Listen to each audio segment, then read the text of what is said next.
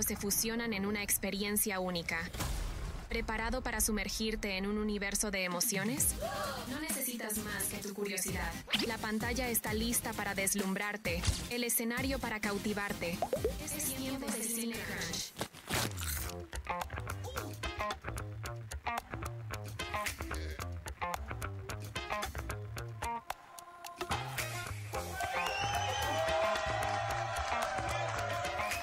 Momento de hacer crunch crunch con algo de cine aquí en el beat. Gracias a Guayacox Pizza. Ya saben que pueden participar con nosotros, Carlitos, en el sorteo, ¿verdad? Por supuesto, recuerden seguir los pasos. Hay una pizza mediana y una bebida cortesía de Guayacos Pizza. Síguelos en arroba Guayacos Pizza S. Adicional, también no se pierdan que tenemos ese kit de Ay, Sony Pictures kit. Oficial de Ghostbusters Apocalipsis Fantasma. Sigue los pasos, sigue los pasos. Es fundamental que siga los pasos. Recuerda que hay un sorteo y el 21 de marzo es el estreno en cines de Ghostbusters Apocalipsis Fantasmas. Que por cierto vamos a estar en, en la premiere gracias a, a- a Sony Pictures y vamos a estarle dando ahí también contenido para que ustedes puedan ver todo lo que va a pasar. Obviamente sin spoilers, Por sin supuesto. spoilers. Pero bueno, antes de entrar en materia, les comento que eh, ya estuve en la premiere de Atrapados en lo Profundo. Muy buena película, excelente. Es una película que no es tan extensa, pero tú sientes la desesperación de, de morir ahogado. tiene tiene lo justo y necesario. Así es, así que muchas gracias a Venus Films y Multicines. Estén atentos porque se habrá, vendrán sorpresas, ¿ah? Así que muchas gracias a Venus Films. Así que chicos, ahora sí, arrancamos con los datos cinéfilos para todos ustedes con la novedad de lo que pasó posterior a los Oscars. Las novedades, todo lo que hubo, los memes, por ahí risas y momentos icónicos de esta increíble gala. Bueno, hubieron 68 directores en los cuales presentaron sus obras y muchas de ellas, bueno, aclamadas obviamente por la crítica, rompieron estándares, dejaron prácticamente una secuela muy positiva. Hubo cosas que de pronto no se interpretaron muy bien al, al inicio y después ya fueron explicadas, pero la que se esperaba que ganara una estatuilla era Barbie, pero en realidad no, No ganó. porque prácticamente Oppenheimer tenía un contexto más humano, más, eh, digamos, no solo dramático, sino también un hecho histórico. Claro, Es un hecho histórico que cautivó prácticamente a muchas personas, eh, prácticamente tres horas de película. Exacto, y más que nada que impactó fue un cambio eh, increíble después de lo que pasó originalmente eh, a la sociedad y al mundo entero. Realmente fue algo que los marcó. Y creo que más allá del significado de lo que haya tenido Barbie, porque realmente también tiene un bonito significado, una película que es comedia, pero también este habla de, de algo muy bueno, ¿no? Del, del valorarse hombres, mujeres, etcétera, etcétera. Pero eh, Oppenheimer tiene un trasfondo histórico brutal y de la, manera en que fue interpretada por estos chicos, realmente se merecieron estos premios porque ellos, Oppenheimer realmente se llevó siete galardones seguidos. Y bueno, seguida ahí también estuvieron de la mano con 14 también que se llevó galardones y estatuillas, realmente muy bueno. Me, me encantó también este que todo el equipo estaba en unas en un mood de celebración, ¿no? Todos estaban como que, "Güey, ganamos." Y aunque a, la- a lo mejor algunos hayan estado nominados y puede ser que a lo mejor no ganaron, realmente se, se sentían parte del equipo, ¿no? Y ese, ese éxito los hacía sentir también merecedores porque Oppenheimer se llevó demasiados, demasiados galardones. Adicional, adicional, vemos que Robert Downey Jr. ganó su primera estatuilla y lo recibió al puro estilo de Tony Stark. ¿eh? Ay, a mí me encanta. Y, y- y icónico, él, icónico. Exacto, espérate que son los memes. Pues él se levanta, como que saluda y como que. Como todo, todo, todo una miss, Es ¿no? Tony Stark en la vida real. Es Tony Stark, no hay que darle Oye, tanta sí, vuelta. yo pienso que nunca, nunca, nunca en la vida he visto un personaje eh, tan, tan icónico como, como Robert Downey Jr. en, en Iron Man y que en la vida real, o sea, no es que en la vida real él sea así, ¿no? Porque, eh, sino que cuando está con sus amigos, con la gente realmente... espontáneo, es Sí, es súper espontáneo. espontáneo, súper chispa, o sea, es increíble, ¿no? Y bueno, me encantó también eh, el, el pequeño texto que le dedicó a su esposa, que realmente es muy bonito, y también algo jocoso, algo de comedia que tenía ahí. Porque él decía, le doy gracias a mi veterinaria. Le doy gracias a mi veterinaria porque encontró un perro abandonado Eso fue lo que dijo. Encontró un perro ab- abandonado y con todo su amor lo convirtió en algo bueno y gracias a eso estoy aquí. Ay, yo me derretí realmente cuando yo escuché eso. Pero de una manera muy cómica, pero algo muy lindo, ¿no?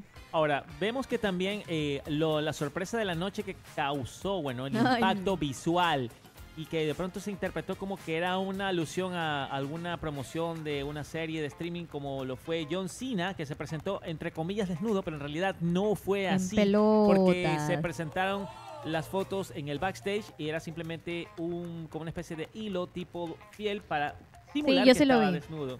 Sí. Entonces como que la gente, ay, está desnudo, está desnudo. Y de pronto Oye. es verdad que se hizo especulaciones de que, ah, está promocionando Ricky Staniki, pero Sí. en realidad no era eso. Tiene otro contexto. A ver, cuéntanos el contexto. a. Bueno, el contexto es que él estaba dando como un realce a lo que fue una presentación de los Oscars muchos años atrás, en los cual un- uno de los protagonistas se presentó desnudo y luego se suicidó.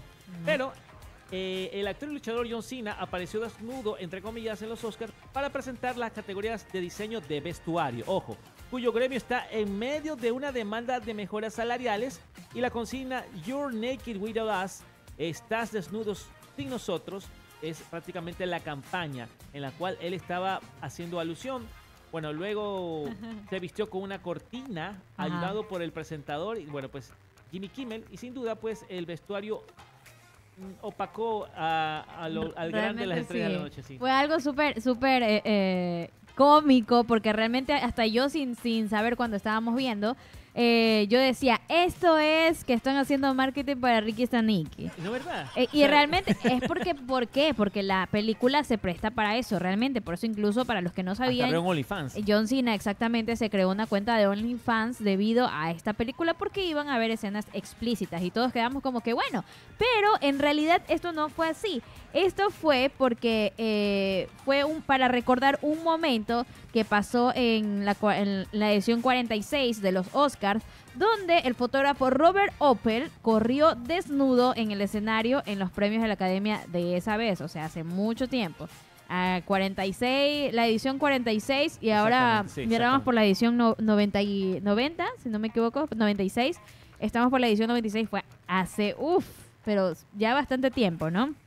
Entonces, eh, fue más que nada para eso. No es nada de promoción de Ricky Staniki, no es promoción de absolutamente nada de ninguna película, sino para recordar ese momento icónico. Así como el beso de Madonna hace algún tiempo en un show también musical, eh, esto también fue algo representado de manera icónica. No creo que vayamos a ver a alguien haciendo esto en los Oscars, pero eh, sí, los espe- las especulaciones fueron muchas y también eh, la gente morbosa, oye, que salió por John Cena.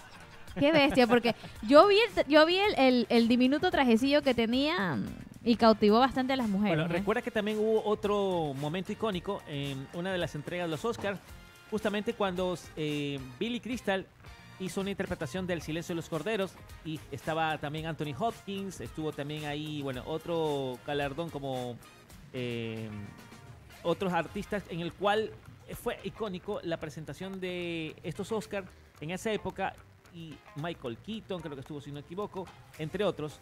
Y fue muy buena, fue muy buena. Hubo una representación icónica en esa época que lo hizo eh, prácticamente merecedor de algo para recordar. Exacto, fue algo, un momento, creo que hay momentos icónicos, icónicos, pero eso también se va a quedar muy grabado en la mente de todos los asistentes de la 96 edición de los Oscars. Otro momento súper icónico también fue el perrito de la anatomía de una caída, que Ah, obviamente... Messi. Sí, Messi fue protagonista de, de la noche. Oye, yo vi las fotos de él en todos lados. En cuenta que yo veía, cuenta que veía meme del perrito. Y bueno, aunque su aparición en la ceremonia fue grabada con un día de antelación, porque realmente, conózcanlo, el perrito no estuvo en esa ceremonia. ¿eh? es algo que le hubiera causado mucho más miedo a ver tantas flash, Exacto. eh, ruido. el perrito sí se hubiese sentido malito. Claro, o sea, les hubiera aturdido. Pero te cuento que también la sorpresa de la noche fue que eh, una película que prácticamente no, no tenía mucha... No se esperaba que estuviera en los premios, fue Godzilla Minus One. Y Ya, realmente nada, nadie. Este género del Kaiju Eiga y del Tokusatsu ya tiene un puesto en los premios Oscar y es que por sus efectos visuales. Ha habido versiones de Godzilla anteriormente con muy buenos efectos visuales, pero esta sin número fue épica. Y recuerden que Godzilla Minus One es una producción japonesa de Toho y Godzilla vs. Kong es obviamente de Warner asociada. Pero pues están prácticamente en casi, podría decir, en, mm, en el mismo universo. Puede decir que sí, porque eh, la serie streaming eh, que enlaza esta historia de Minus One con Kong y Godzilla, que es- ustedes la pueden disfrutar, hace alusión al Minus One y me parece muy bueno que de pronto ya Japón tenga su primer Oscar con esta producción Claro. de Samsung. Oye, y hablando, hablando de, de- de países asiáticos y todo esto, también la novedad de, del niño y la garza. Así que es, Japón realmente. lo hace con Miyazaki nuevamente. Exacto. Es una muy buena película, se las recomendamos. Y yo creo que también hay algo que denotar que poco a poco se van abriendo campos en producciones independientes, producciones de otros países, otros géneros que de pronto quizás estaban ahí pero no fueron tan atendidos en su momento, pero han tenido relevancia ahora. Con Sí. la tecnología y esperemos que la inteligencia artificial no influya negativamente en esto. ¿no? Exacto, esperemos que realmente no, porque para las personas que no lo sabían, esa película del niño y la garza realmente tomó siete años en realizarse. Así que yo siento que el Oscar es más que merecido eh, en esta categoría porque realmente les tomó mucho, mucho, mucho trabajo porque tenían demasiados animadores, pero hacían nada más un minuto al día, o sea, pero les tomaba demasiado tiempo realmente. Es un trabajo increíble, pero también otro de los de los ganadores, porque tenemos también ganadores y ganadores en esta, estas entregas, porque sabemos que como mejor película, obviamente ganó Oppenheimer. Para mejor actriz también, eh, mejor actor, perdón, Cillian Murphy, que Espectacular, ¿eh? increíble. La gente le estaba haciendo también memes por todos lados, más que nada del, del- del- de cómo Cillian eh, recibió el, la estatuilla y en redes sociales, tú sabes, lo que primero se viraliza son los memes. Memes. Todo lo que pasa La en los cultura del Oscars. meme. Exactamente, de la mirada expresiva de, de Cillian Murphy, pero también porque él ganaba el Oscar a Mejor Actriz.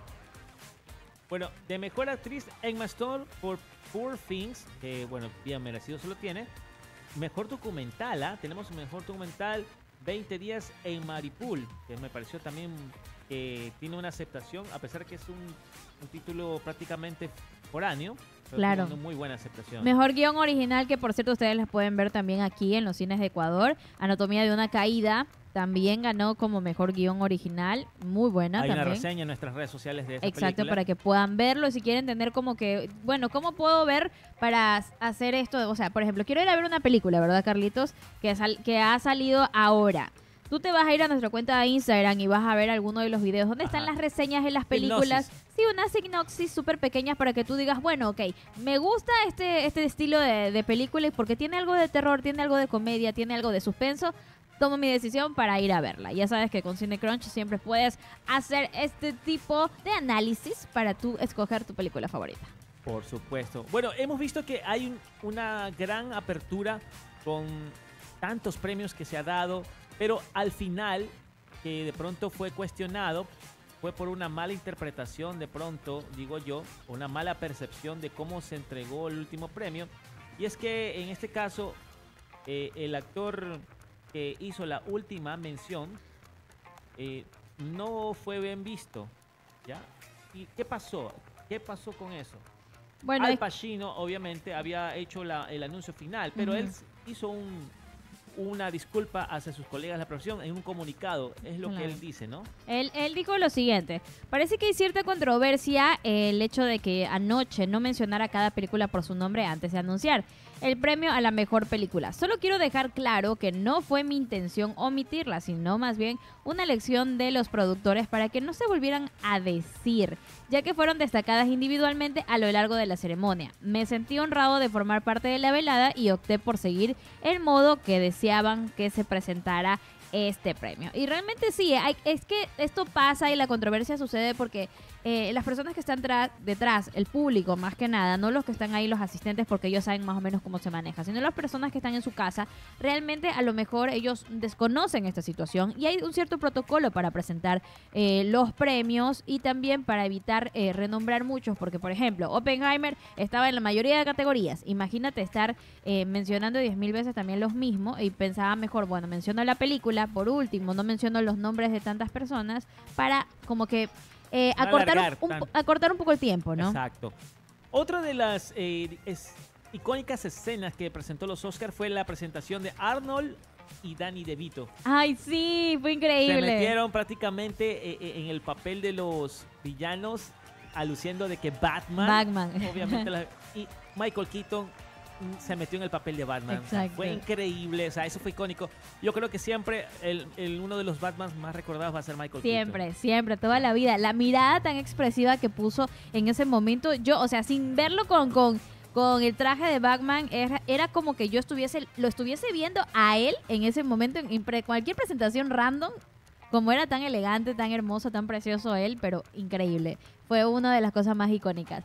Otra cosa también que, eh, bueno, como Barbie realmente no se llevó Oscars por su película, por actores o algo por el estilo, Billie Eilish sí se llevó estatuilla por la canción que ella había sacado y obviamente también la escena más icónica del momento para Barbie fue obviamente la canción que cantó Ryan Gosling. I Just Can't. Ah, exactamente. Y Oh, obviamente eh, fue muy buena también el performance que, que hicieron. A mí me, me encantó verlo a Ken. Es como que no sé, es verlo en otra, en otra faceta. Es La que que- nadie se esperaba que, bueno, había hipótesis que ah, se va a presentar con Slash en la guitarra y efectivamente se presentó con Sí. Slash. Es que es icónico, tiene que estar Slash ahí, si no la canción no sería. No. Pero sí hay que denotar que este tipo de, digamos, presentaciones musicales, sobre todo Bill Eilish ya es un artista, pero Ryan Gosling no sabía su faceta como cantante, pero le salió como ahí quedó, ¿no?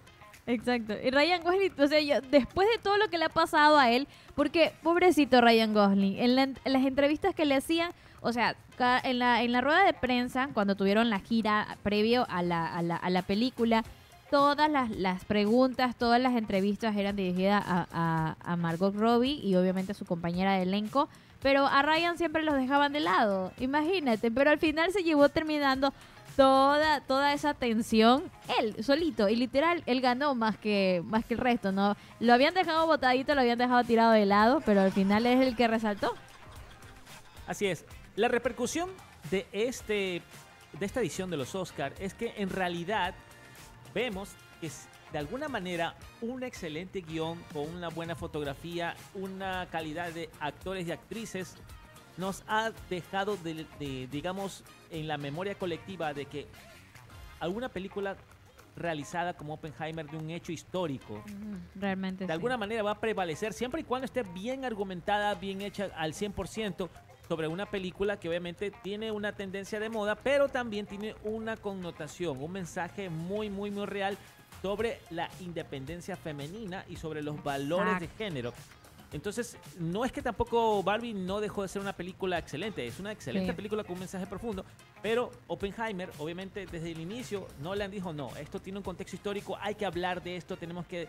Y sobre todo, o sea, si tú ves la película y te gusta estos hechos históricos, te va a encantar, ¿ah? Te la recomendamos. Es que hay, hay muchas, muchas cosas dentro de la película, no solamente como Carlitos mencionó, el rol de la mujer también dentro de eso y de una manera que se lo hizo muy respetuosa, eh, adaptándose a lo que pasó, obviamente. Sí, por ahí se adaptaron otras cosas que no estaban eh, dentro de, eh, de- de lo que fue el guion o, o la historia original, pero todo mantuvo dentro de su línea, hubo una continuidad muy perfecta, el equilibrio estuvo increíble, tanto con los actores, el reparto realmente fue súper increíble y creo que cuando se hace un buen trabajo en cuanto a, película eh, se merece y se ve plasmado ahora en esto que fue los Oscars, que donde se llevaron la mayoría de los premios. Realmente felicidades para Oppenheimer y a Nolan realmente porque hizo un excelente trabajo y obviamente todo el staff. Así es. Y bueno, con esto damos por terminado este pequeño análisis de los Oscar, bueno, muchos ya han hecho eco de alguna manera, pues nosotros nuestro, desde nuestro punto de vista hemos hecho un pequeño resumen y análisis de cómo esto ha repercutido en la industria del cine. Esperamos que de alguna manera también a futuros producciones y productores tomen en cuenta que también aparte de un buen actor, hay un guionista, hay un Maquillista. maquillista, un prop maker y también son Fotógrafo. parte de la película, que son ellos parte fundamental. Y yo creo que estas huelgas que se han dado de alguna manera van a están causando un impacto, impacto, ¿no? profundo, profundo en la industria del cine, porque en realidad no se sabía cuál era su situación. Todo el mundo pensaba que estaban ganando muy bien, pero en realidad No. era otra. Era otra. Y por el hecho de que sea internacional, no siempre significa que están ganando muy bien. Si no existiera un maquillista, si no existiera un sonidista, si no existiera alguien que hace lo de la edición, créeme que no existiría absolutamente nada. Y es verdad, los actores son quienes se llevan la mayoría de crédito, pero también detrás de toda esa producción hay gente que trabaja y durísimo y no es bien remunerada. Pero bueno, chicos, con esto terminamos esta post, el after party de lo que fue los Oscars 2024 aquí en Cinecrunch. Ya sabes, puedes seguir participando con nosotros para el, el- la pre- el premio de Guayacos Pizza, ¿verdad? Arroba es. R98.1 FM. Y por supuesto, ese kit increíble, cortesía de Sony Pictures de Ghostbusters. Ghostbusters, Apocalipsis Fantasma. Sigue los pasos, ¿ah? Recuerda que esto es el beat hasta las 12.